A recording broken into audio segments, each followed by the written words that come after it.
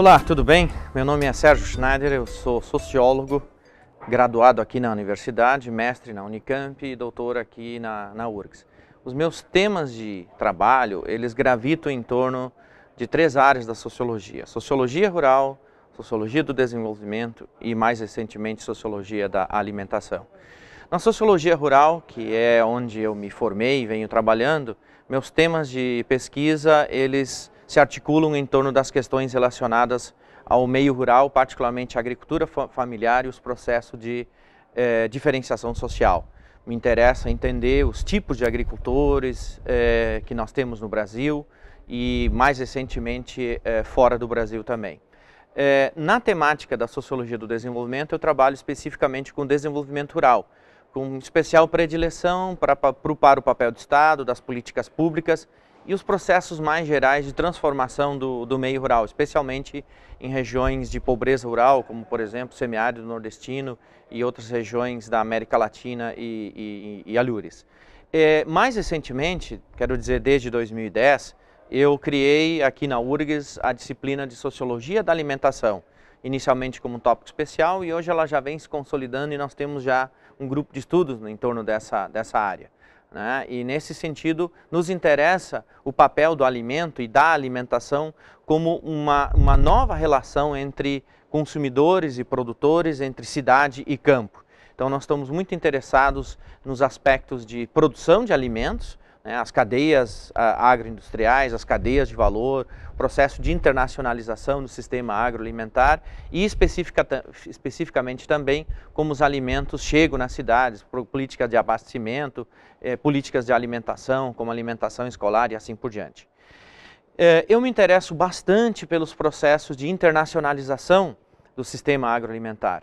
Os meus principais projetos estão vinculados hoje em dia aos BRICS. Né? Eu tenho colaborado diretamente, especificamente com dois países, em primeiro lugar a China e, eh, em segundo lugar, a, a, Rússia e a África do Sul.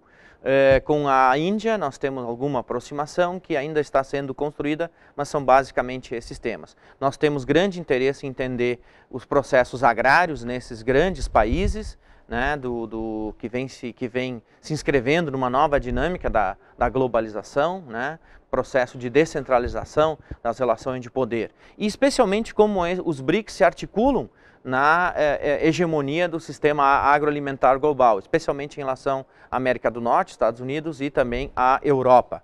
É, continuo me interessando fortemente pelas questões do campesinato e da agricultura familiar, também nesses BRICS, né? especialmente porque a maior parte dos pequenos agricultores está concentrado em países como a China é, e a Índia. Né? É, o Brasil também é um país expoente nessa área. É, especialmente em função disso, eu tenho trabalhado com várias organizações internacionais, como a FAO, né, o FIDA, o Programa Mundial de Alimentos e assim por diante.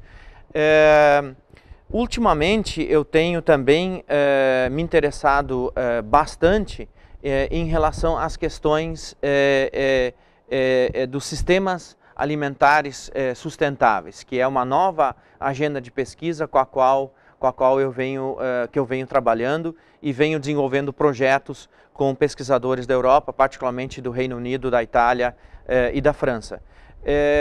de uma maneira geral, eu continuo trabalhando com as temáticas que para mim foram formativas, agricultura familiar, pluriatividade, relações de trabalho, e venho acrescentando os temas do desenvolvimento rural e particularmente das questões eh, agroalimentares, alimentares mais recentemente. Eu tenho todo o interesse em trabalhar, em orientar, em publicar nessas áreas temáticas, né, com estudantes do Brasil e de fora né, do Brasil. Eh, tenho eh, projetos de pesquisa é, que são apoiados pelo CNPq, a FAPERGS, acabei de aprovar um projeto de internacionalização, é, e também é, com a CAPES.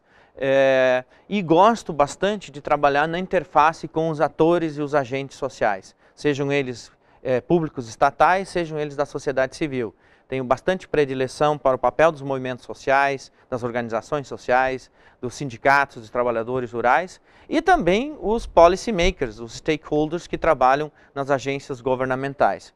É, se você quer fazer um bom curso de sociologia, estudar sociologia rural, estudar sociologia do desenvolvimento, estudar sociologia da alimentação, venha para o PPGS, venha trabalhar conosco, que você estará numa das escolas mais importantes de formação eh, de alto nível das ciências sociais e da sociologia no Brasil.